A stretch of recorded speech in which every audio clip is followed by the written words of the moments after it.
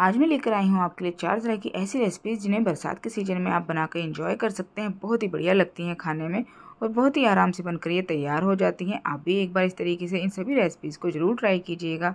इसे आप चाय के साथ कॉफ़ी के साथ इंजॉय कर सकते हैं। वीडियो अगर आपको ज़रा भी पसंद आती है तो प्लीज़ वीडियो को लाइक कर लीजिएगा। चैनल पर पहली बार है तो सब्सक्राइब कर लीजिएगा। चलिए शुरू कर लेते हैं आज की रेसिपीज़ को। सबसे पहले इसके लिए स्टफिंग तैयार करेंगे। तो यहाँ पर मैंने ऑयल लिया है और उसमें एक प्याज को डाल दिया है बारीक टुकड़ों में कट करके। इसे दो मिनट के लिए भून लेंगे लो फ्लेम पर भूनना है। और इसी तरीके से मैंने इसे भून लिया इसमें एक चम्मच भरकर मैंने बारीक कटी हुई शिमला मिर्च भी डाल दी है। इसे भी हल्का सा आप चलाएँगे और उसके बाद इसमें मैं टमाटर डाल रही हूँ। तो एक टमाटर को मैं डाल रही हूँ। इस तरीके से आप ज़रूर बनाकर देखिएगा इस नाश्ते को। तो इसमें मैंने नमक भी डाल दिया है, धनिया पाउडर डाला है, साथ ही में एक छोटा चम्मच कश्मीरी लाल मिर्च डाली है जो तीखी नहीं होती है, हल्की तीखी होती है। साथ में हल्दी पाउडर और साथ में पाव भाजी मसाला भी मैंने डाला एक छोटा चम्मच। तो इसे इसी तरीके से बीच बीच में चलाते हुए चार से पाँच मिनट के लिए मैंने पका लिया है। काफ़ी अच्छे से जो हमारा मसाला है, वो पककर तैयार हो गया है। अब इसमें आलू और मटर को मैंने उबाल कर रखा हुआ था। इन्हें डाल दिया है दो उबले हुए आलू हैं और साथ में दो से तीन चम्मच मैंने मटर डाली हैं। इस तरीके से आप ये स्टफिंग बनाकर तैयार कर सकते हैं। अपनी मनपसंद की कोई भी स्टफिंग आप इसमें स्टफ़ कर सकते हैं। इस तरीके से मैंने ये भाजी बनाकर तैयार की है। इसे साइड में रख देते हैं ठंडा होने के लिए और ब्रेड मैंने ले ली है। इनके कॉर्नर्स को कट कर लेते हैं। जितनी ब्रेड का आप ये नाश्ता बनाना चाहते हैं, उतनी ब्रेड ले सकते हैं। तो मैंने यहाँ पर पाँच ब्रेड ली है और इन्हें रेडी कर लेते हैं। इनके कॉर्नर्स को कट कर देना इस तरीके से। उसके बाद जो ब्रेड है, उसे हल्का सा बेल लेंगे हम। बेलन की हेल्प से इस तरीके से, ताकि जो ब्रेड है थोड़ी सी फ्लैट हो जाए। तो इस तरीके से इसे मैंने तैयार किया है। और सारी ही ब्रेड इसी तरीके से तैयार कर लेते हैं। तो सभी को तैयार कर लिया। अब इसके लिए घोल तैयार कर लेते हैं। तो दो से तीन बड़े चम्मच मैंने मैदा ली है। इसमें थोड़ा सा हम नमक डाल देते हैं। तो टेस्ट के अकॉर्डिंग आप डाल सकते हैं। बिल्कुल थोड़ा सा नमक डालना और उसके साथ में पानी डालेंगे। उसका घोल तैयार करेंगे। इसकी सिलरी बनाकर तैयार कर रहे हैं। जिससे कि इसमें हम इसे डिप कर सकें। तो इसकी सिलरी को हमने तैयार कर लिया इस तरीके का। बैटर हमने बनाकर तैयार किया है। और जो हमने स्टफिंग तैयार की थी, उसमें नींबू का रस डाल देते ठंडा हो गया है हमारा जो मिक्सचर है। उसमें नींबू का रस डाला, आधे नींबू का रस डाल लिया। इससे बहुत ही ज़्यादा टेम्पटिंग जो हमारा मसाला है, तैयार हो गया है। साइड में रखा और जो ब्रेड हमने रखी थी, उन्हें लेंगे।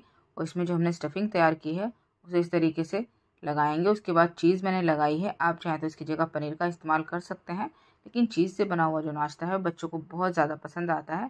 तो मैंने इसमें चीज़ लगाई है। बिल्कुल ऑप्शनल है। आप चाहें तो चीज़ पनीर दोनों को स्किप कर सकते हैं। इस तरीके से सब्ज़ियाँ स्टफ़ करके भी इसे बना सकते हैं। तो इसे इस तरीके से रोल कर लेंगे और इसे सभी को बनाकर तैयार कर लेंगे। अगर आप कॉर्नर चिपकाना चाहते हैं तो थोड़े से पानी का इस्तेमाल करके इस तरीके से कॉर्नर्स को सील कर सकते हैं। लेकिन हमने जो घोल बनाया उसमें ये आराम से सील हो जाते हैं बाद में। सभी को हमने इसी तरीके से तैयार कर लिया और उसको कवर करने के लिए मैंने बारीक वाली सेवैयाँ लिया इसकी जगह आप ब्रेड क्रम ले सकते हैं, कॉर्नफ्लेक्स भी ले सकते हैं। और जो हमने घोल बनाकर रखा था मैदा का, उसे लेंगे, इसमें इसे इस तरीके से डिप करेंगे। और जो हमने सेवैयाँ ली हैं, उससे कवर करेंगे। तो इसे इस तरीके से चारों तरफ़ से घुमाते हुए अच्छे से जो सेवैयाँ हैं, उससे कवर कर लेना है, जिससे कि सभी साइडों से सेवैयाँ इसमें चिपक जाएँ। इससे बहुत ही क्रिस्पी और कुरकुरा जो हमारा नाश्ता है, ये बनकर तैयार होता है, बाहर से अंदर से सॉफ्ट होता है और बाहर से बिल्कुल क्रिस्पी बनता है। तो इस तरीके से इसे अच्छे से कवर कर लेते हैं। इसके दोनों साइडों को भी इस तरीके से अच्छे से कवर कर लेंगे सेवैयों से। अगर आपको ज़रूरत हो तो थोड़ा सा जो हमने घोल बनाया है इसे भी लगा सकते हैं इसके कॉर्नर्स पर साइडों में। तो सभी को हमने इसी तरीके से तैयार कर लिया। अब इन्हें फ्राई करने के लिए चलते हैं। तो ऑयल को मैंने पहले ही गर्म होने के लिए रख दिया था। फ्लेम को लो मीडियम रखेंगे और लो मीडियम फ्लेम पर इन्हें गोल्डन ब्राउन होने तक अच्छे से फ्राई करेंगे ताकि जो हमारा नाश्ता है, बढ़िया से सिक कर तैयार हो जाए। इसी तरीके से इसे बीच बीच में चलाते रहेंगे और इसे तैयार करेंगे। फ्लेम को लो मीडियम रखना है। लो भी नहीं करना है और हाई भी नहीं करना है। लो मीडियम गैस पर इसे फ्राई करेंगे। ताकि जो हमारा नाश्ता है, बढ़िया से पक जाए और क्रिस्पी कुरकुरा हो जाए। आलू जो हमने स्टफिंग तैयार की थी, वो तो हमारी पकी हुई थी तो सिर्फ़ बाहर से इसे पकाना है। इसे पकने में चार से पाँच मिनट लग जाते हैं क्रिस्पी कुरकुरा होने में। तो ये तैयार हो गया जो हमारा नाश्ता, इसे निकालेंगे और सर्व करेंगे। इसे आप चाहें तो टमाटो सॉस के साथ सर्व कर सकते हैं, धनिया पुदीना की चटनी के साथ सर्व कर सकते हैं। मैंने टमाटो सॉस के साथ सर्व किया है, जैसे आपको पसंद हो, उस तरीके से इसे आप सर्व कर सकते हैं।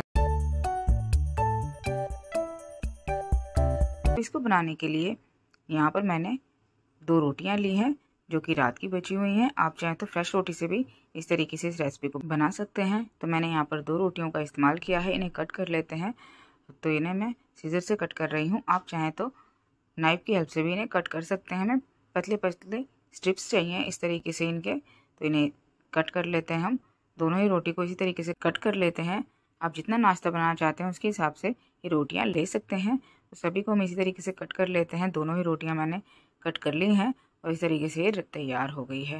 अब इसमें मसाले ऐड करेंगे ताकि जो हमारी रोटियाँ हैं फीकी फीकी ना लगे। तो इसमें लाल मिर्च डाली है, आधा छोटा चम्मच मैंने, इसी के साथ में नमक भी डाल देंगे आधा छोटा चम्मच और इसी के साथ में थोड़ी सी धनिया पत्ती डालेंगे। आप चाहें तो इसमें और भी मसाले ऐड कर सकते हैं। मैंने सिंपल घर में मिलने वाले मसालों का इस्तेमाल किया है और इन्हें अच्छे से मिक्स कर लेंगे। थोड़ी जो हमारी रोटियाँ हैं, ड्राई है तो थोड़ा सा पानी छिड़क लेते हैं इसके ऊपर ताकि सभी मसाले वगैरह इस पर अच्छे से चिपक जाएँ, इन्हें अच्छे से मिक्स कर लिया है देखिए, इस तरीके से जो ये हमारा नाश्ता है, बहुत ही क्रिस्पी और कुरकुरा बनकर तैयार होने वाला है। तो इस पर थोड़ा सा हम आटा भी छिड़क लेते हैं ताकि हमारे नाश्ते में आराम से चिपक जाए। तो यहाँ पर मैंने गेहूँ का आटा ही लिया है। एक से दो चम्मच हमने आटा लिया है। इसे अच्छे से मिक्स कर लेंगे और इसे साइड में रखेंगे। इसकी स्टफिंग तैयार कर लेते हैं। तो यहाँ पर मैंने तीन उबले हुए आलू लिए हैं मीडियम साइज़ के। अब इसमें भी हम बाकी की चीज़ें ऐड कर लेते हैं। तो यहाँ पर एक छोटा चम्मच मैंने लहसुन लिया है, बारीक कटा हुआ। आप नहीं खाते हैं तो स्किप कर सकते हैं। एक मीडियम साइज़ के प्याज को कट करके डाल देंगे। साथ ही में धनिया पत्ती मैंने इसमें ऐड की है। नमक डालेंगे टेस्ट के अकॉर्डिंग आधा छोटा चम्मच मैंने नमक डाला है। आधा छोटा चम्मच इसमें लाल मिर्च डाल रही हूँ, कुटी हुई। इसी के साथ में एक छोटा चम्मच धनिया पाउडर डालेंगे। और साथ ही में थोड़ा सा मैंने पाव भाजी मसाला लिया है। आप चाहें तो गरम मसाला भी ले सकते हैं। आधा छोटा चम्मच मैंने डाला उसमें बढ़िया से फ्लेवर देने के लिए। ये मूंग के स्प्राउट्स मैंने ऐड किए हैं। आप कोई भी सब्ज़ियाँ इसमें ऐड कर सकते हैं। अगर आप स्प्राउट्स नहीं डालना चाहते हैं तो एक नींबू के रस को मैंने इसमें डाला है। आप जितना खट्टा पसंद करते हैं उसके हिसाब से आप इसमें डाल सकते हैं। अब दो चम्मच इसमें हम गेहूँ का आटा डाल देते हैं ताकि बढ़िया से बाइंड हो जाए जो हमारे आलू हैं। इन सभी को अच्छे से मिक्स कर लेते हैं आप स्प्राउट की जगह। इसमें शिमला मिर्च, गाजर वगैरह भी डाल सकते हैं। तो यहाँ पर मैंने इन सभी को अच्छे से मिक्स कर लिया। मैंने शेप देंगे। अपनी मनपसंद शेप आप इन्हें दे सकते हैं। तो मैं इस तरीके से टिक्की की शेप इन्हें दे रही हूँ। तो इसी तरीके से हम सभी को तैयार कर लेते हैं। बहुत ही ज़्यादा बढ़िया नाश्ता बनकर तैयार होता है लेफ़्ट ओवर रोटी से। आप ज़रूर बनाकर देखिएगा। आपको बहुत ज़्यादा पसंद आएगा और घर में ही मिल जाने वाली चीज़ों से इसे हमने बनाकर तैयार किया है। कोई भी ऐसी चीज़ नहीं है इसे आपको बाहर से लाना पड़े। तो यहाँ पर मैंने दो से तीन चम्मच आटा ले लिया है गेहूँ का। और इसमें थोड़ा सा नमक डालकर इसकी स्लरी तैयार करेंगे। ताकि इसे हम इस्तेमाल कर सकें अपने नाश्ते में।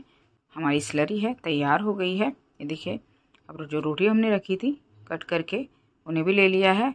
और जो हमने बॉल्स बनाकर तैयार की हैं, टिक्कियाँ, उन्हें भी लेंगे और घोल में डिप करते जाएँगे और रोटी से कवर कर लेंगे। तो इस तरीके से घोल में इन्हें डिप करेंगे, जिससे कि जो ये रोटियाँ हैं, इस पर बड़े ही आराम से चिपक जाती हैं। इस तरीके से अच्छे से इस पर चिपका लेंगे। इससे जो हमारा नाश्ता है, बहुत ही ज़्यादा क्रिस्पी और कुरकुरा बनकर तैयार होगा। वैसे ही हम टिक्कियाँ बनाते हैं तो सॉफ्ट बन जाती हैं। इस तरीके से आप बनाएँगे तो बहुत ही क्रिस्पी और कुरकुरी हमारी जो टिक्कियाँ हैं बनकर तैयार होंगी और बहुत ही ज़्यादा बढ़िया लगेंगी और रोटी का भी इस्तेमाल यहाँ पर हो जाएगा। तो सभी टिक्कियाँ हमने इस तरीके से तैयार कर ली हैं। देखिए, बहुत ही बढ़िया जो हमारी टिक्कियाँ हैं बनकर तैयार हुई हैं। इसी तरीके से आप भी बनाकर तैयार कर सकते हैं। आप अपने मनपसंद की शेप दे सकते हैं। ऑयल को यहाँ पर मैंने गर्म कर लिया है। फ्लेम को लो मीडियम करेंगे और इन्हें फ्राई करेंगे। फ्लेम को हाई नहीं करना है, लो मीडियम फ्लेम पर इन्हें फ्राई करेंगे। उलट पलट करते हुए बढ़िया से क्रिस्पी गोल्डन ब्राउन हो जाए तब तक। तो इन्हें इसी तरीके से उलट पलट करते रहेंगे। इन्हें अच्छे से गोल्डन ब्राउन होने देना है। फ्लेम को लो मीडियम ही रखना है। फ्लेम को हाई करेंगे तो जो रोटियाँ हैं वो जल जाएँगी। इस तरीके से बहुत ही क्रिस्पी कुरकुरा नाश्ता आप बनाकर तैयार कर सकते हैं। वो भी घर में मिल जाने वाली चीज़ों से। तो आप एक बार ज़रूर बनाकर देखिएगा। इस तरीके से इस लेफ़्ट ओवर रोटी के नाश्ते को तो इस तरीके से हम सभी को फ्राई कर लेते हैं जब तक इन पर बढ़िया सा कलर ना आ जाए। ये जो हमारे नाश्ते के पीसेज हैं, ये तैयार हो चुके हैं, इन्हें हम निकाल लेते हैं और इसी तरीके से बाकी को भी हम तैयार कर लेते हैं। तो बहुत ही बढ़िया जो हमारा नाश्ता है बनकर तैयार हुआ और आप देख सकते हैं कितना बढ़िया दिखाई दे रहा है। बाहर से बहुत ही ज़्यादा क्रिस्पी और अंदर से बिल्कुल सॉफ्ट मुलायम बनकर तैयार होता है। तो सभी नाश्ते हमने तैयार कर लिए हैं और इन्हें सर्व कर लेते हैं। तो इस तरीके से आप ज़रूर से ज़रूर बनाकर देखिएगा। ये देखिए, हमने इसे सर्व किया है टमाटो सॉस के साथ। आप चाहें तो धनी पुदनी चटनी के साथ भी इन्हें सर्व कर सकते हैं।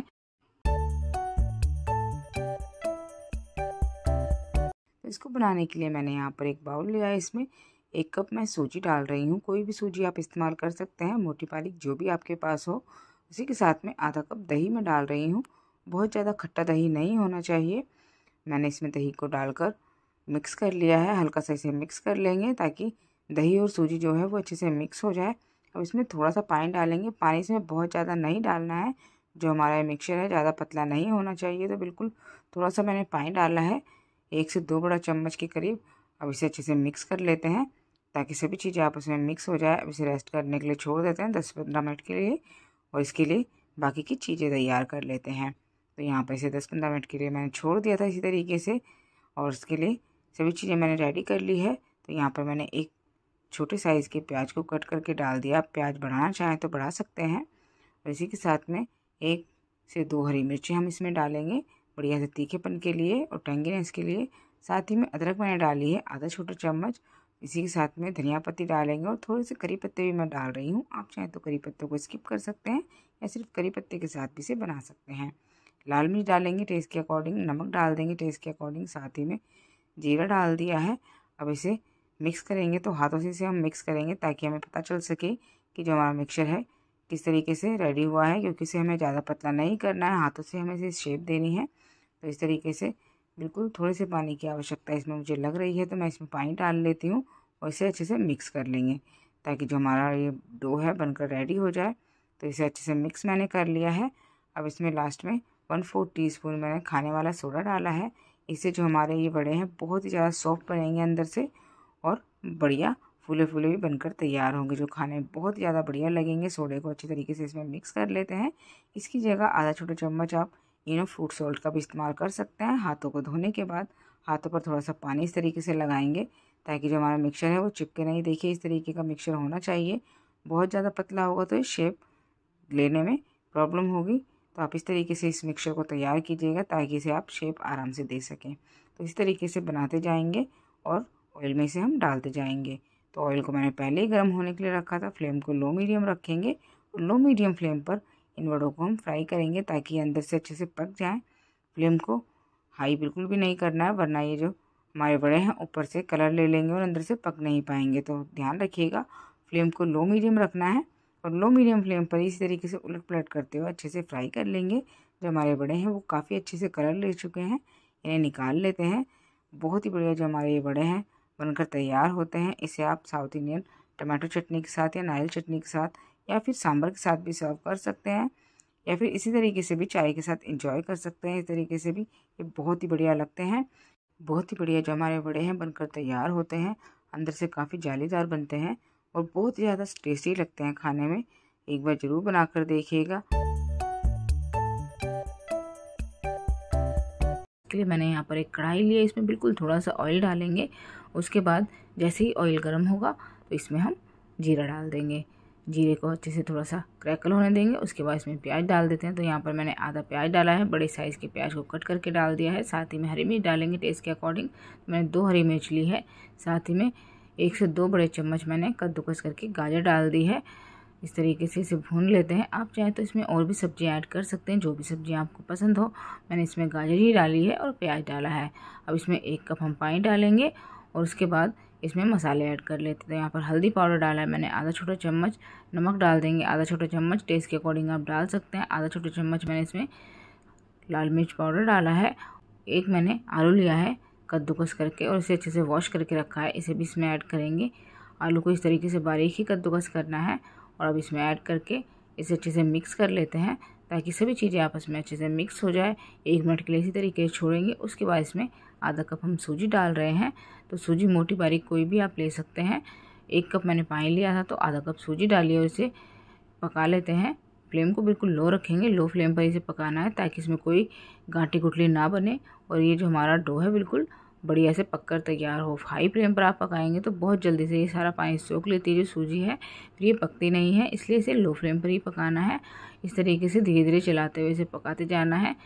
तीन से चार मिनट में ही जो हमारा मिक्सचर है रेडी हो जाएगा और इसके बाद इसमें मैं थोड़े से करी पत्ते और धनिया पत्ती डाल रही हूँ। आप चाहें तो सिर्फ़ धनिया पत्ती डाल सकते हैं, सिर्फ़ करी पत्ता भी डाल सकते हैं, यानी स्किप भी कर सकते हैं। तो इन सभी को अच्छे से मिक्स कर लेते हैं और छोड़ देंगे इसी तरीके से, इसे ठंडा होने के लिए। उसके बाद इसे हम इस्तेमाल करेंगे हमारा नाश्ता बनाने में।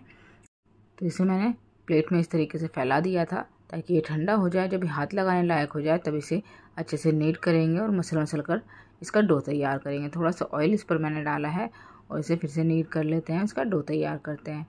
इस तरीके से आप इस नाश्ते को ज़रूर बनाकर देखिएगा, बहुत ही ज़्यादा बढ़िया बनता है खाने में और ये बहुत ज़्यादा टेस्टी बनकर तैयार होता है। बच्चों को आप लंच बॉक्स में भी बनाकर दे सकते हैं इसे। तो इसे इस तरीके से हम लेंगे और अपनी मनपसंद शेप में इसे बनाकर तैयार कर सकते हैं। आप चाहें तो इसे टिक्की की शेप दे सकते हैं या बॉल्स बना सकते हैं इसकी। मैं इस तरीके से इसे तैयार कर रही हूँ ओवल साइज़ में। आप चाहें तो अपनी मनपसंद की कोई भी शेप इसे दे सकते हैं। तो इसी तरीके से सभी को हम तैयार कर लेंगे। बहुत ही ज़्यादा बढ़िया नाश्ता बनकर हमारा तैयार होने वाला है। इसे आप किसी भी चटनी के साथ इंजॉय कर सकते हैं। सभी चटनियों के साथ ये बहुत ही बढ़िया जाता है। आप मुझे कमेंट बॉक्स में ज़रूर बताइएगा कि ये रेसिपी आपको कैसी लगी और आप कहाँ से ये वीडियो देख रहे हैं। तो यहाँ पर इन्हें तैयार मैंने कर लिया है। ऑयल को मैंने पहले ही गर्म करने के लिए रखा था कढ़ाई में। फ्लेम को मीडियम हाई रखना है। लो फ्लेम बिल्कुल भी नहीं करनी है। लो फ्लेम आप करेंगे तो इनमें ऑयल भर जाता है। ध्यान रखिएगा फ्लेम को मीडियम हाई ही रखना है। और जितने पीसेस आपके कढ़ाई में आ जाए, उतने ही डालने हैं। बहुत ज़्यादा नहीं डालने हैं, वरना ये आपस में चिपक कर भी टूट सकते हैं। तो मैंने यहाँ पर पाँच से छः पीसेस इसमें डाले हैं। और इन्हें इसी तरीके से बीच बीच में उलट पलट करते हुए हम पका लेंगे। जब तक कि इन पर बढ़िया सा गोल्डन ब्राउन कलर ना आ जाए, तब तक इन्हें पका लेना है और बीच बीच में चलाते रहेंगे। बहुत ही बढ़िया लगता है खाने में ये नाश्ता। आप चाहें तो इसे क्रिस्पी और कुरकुरा बनाना चाहते हैं तो इन्हें हाफ़ फ्राई करके निकालने के बाद, हल्का सा दबाने के बाद भी इन्हें फ्राई कर सकते हैं। उससे बहुत ज़्यादा क्रिस्पी और कुरकुरा बन जाता है।